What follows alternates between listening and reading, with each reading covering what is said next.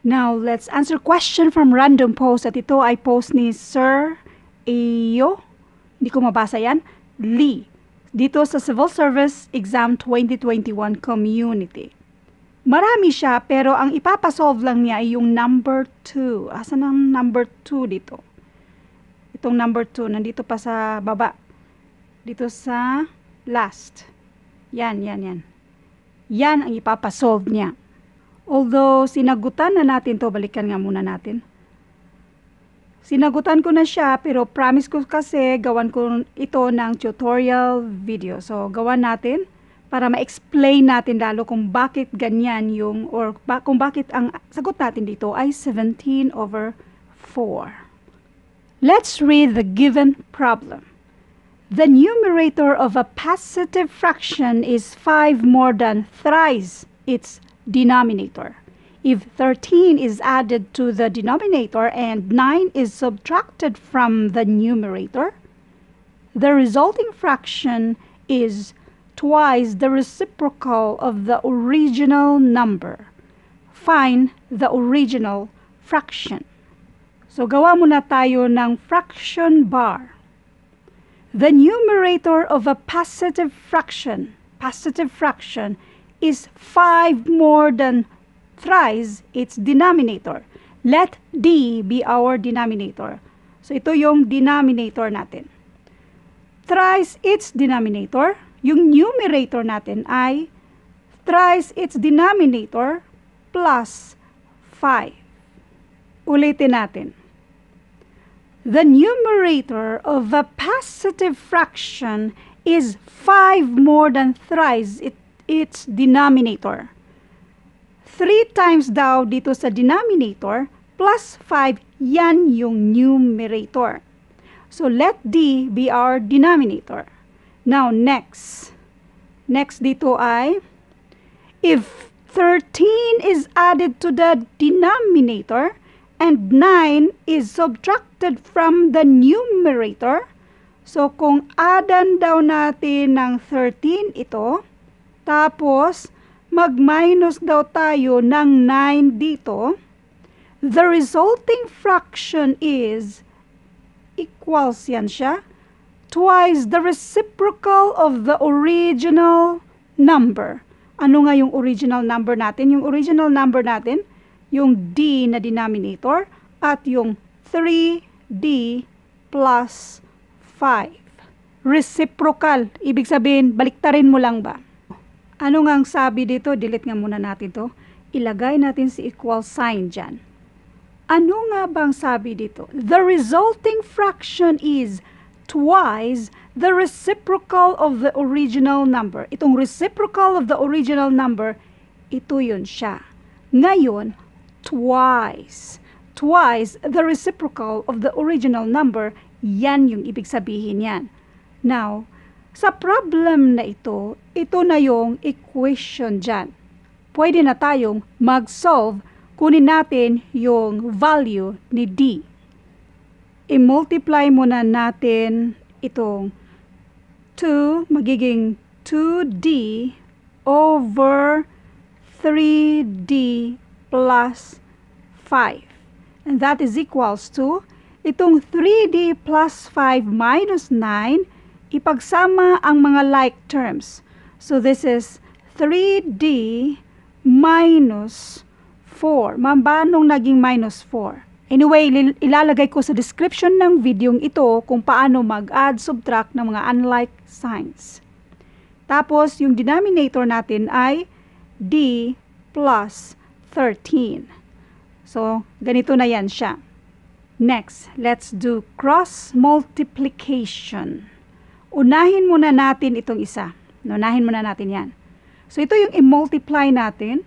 3D minus 4 times dito sa 3D plus 5.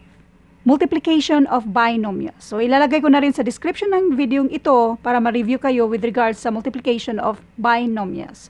In other words, bago kayo mag-proceed dito, alam nyo na yung regarding sa multiplication of binomials, yung mga simple fraction, yung mga simple na hanapin yung mga value ng isang variables, mga ganyan. So anyway, i-multiply natin yan and that will be yung FOIL method natin.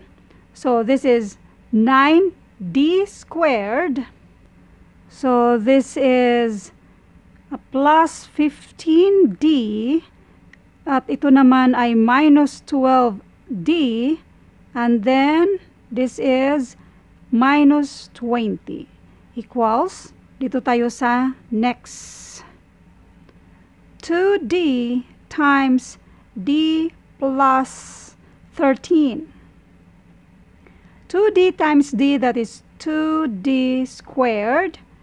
2d times 13 and that is 26d ipagsama ang mga like terms 15d minus 12d and that is equals to 3d. So, isulat natin si plus 3d. Next natin gawin ay ipagsama talaga lahat itong mga like terms. 9d squared at itong 2d squared. Bali, i-transfer natin dito sa kabila. Once ma-transfer yan, ma-minus na yan. So, 9d squared minus 2d squared and that is equals to 7d squared. Next, itong 3d at itong si 26d. Kapag i-transfer natin ito, bali ang gagawin kasi natin i-equate into 0. Kapag i-transfer natin yan, ay magiging minus, bali, 3D minus 26D. And that is equals to negative 23D. So that will be minus 23D. Next, dito tayo sa minus 20. Wala ka namang ilipat dyan. So that is equals to 0 para mas lalong maintindihan ito. Ang dami ko nang na-upload kung paano i-transfer yung sa one side to the other side, tapos mag-equate tayo ng zero. So, ilalagay ko na rin sa description ng video ito. Now, dito na tayo sa 7d squared minus 23d minus 20 equals 0. Ang next nating problema ay kung paano i-factor out itong trinomial natin na ito. So, hindi ko na lang pahabain ang video ito para explain pa kung paano i-factor out. Ilalagay ko na rin sa description ng video ito yung na-upload na natin kung paano nga ba mag-factor out ng mga trinomials. Unang tingnan natin ay itong 7 na ito. Itong leading coefficient natin na 7. Si 7, makapang-divide ba ni 23 at ni 20? Hindi. Pero, pwede natin gawa ng dalawang bahay So, gagawa tayo ng dalawang bahay. Ang isa ay 7D, ang isa ay D lang. Next, itong negative 20, hanapan natin ng mga factors negative 20 in such a way na kapag ma-multiply na din ni 7, tapos pag-add up mo, ay mag-equal sa negative 23D and that is 5 at saka 4. Now, isa dyan ay positive. Ang isa naman ay negative. So, pwede kayong mag-trial and error para ma-sure nyo kung saan dyan ang positive at negative. So, mag-multiply ka ng mga binomials in such a way na ang sagot ay itong 7d squared minus 23d minus 20. So, ang positive natin ay nandito, ang negative natin ay nandyan. Therefore, kung i-multiply natin ito, ang sagot ay itong dito sa 7d squared minus 23d minus 20. So, dito na tayo mag-focus. Ito na yung factors dyan.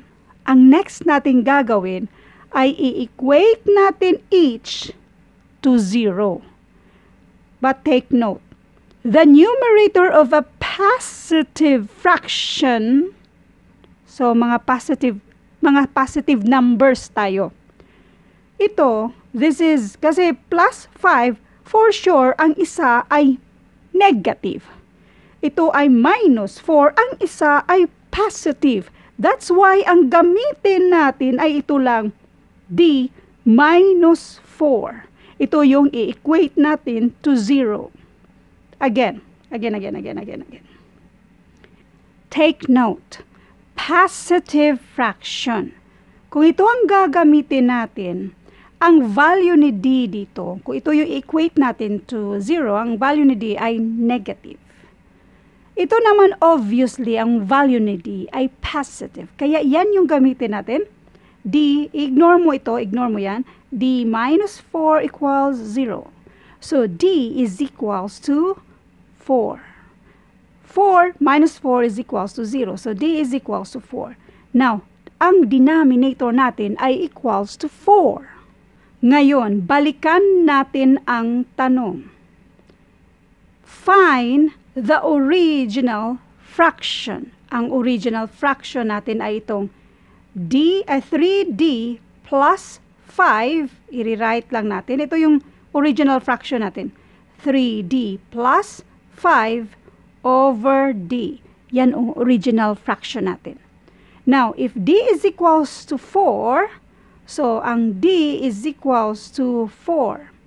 So, 3D, 3 times 4. Isolve natin ito.